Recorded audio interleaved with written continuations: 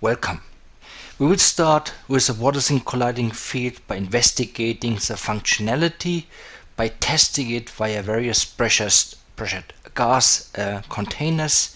Here in this example we have the Phanotron um, um, tube which contains um, helium in a low pressure environment we will also use a higher pressure environment where the fluctuation is easier to see. Because of the magnetic properties of this coil this coil needs to be energized to a very high level.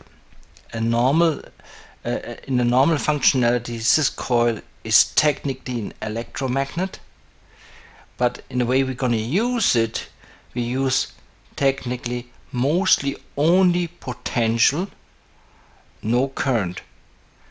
And here it behaves differently. The coil is is plated or has as, as a space met glass which is iron. And because of iron reaction time the frequency is below 1000 Hertz.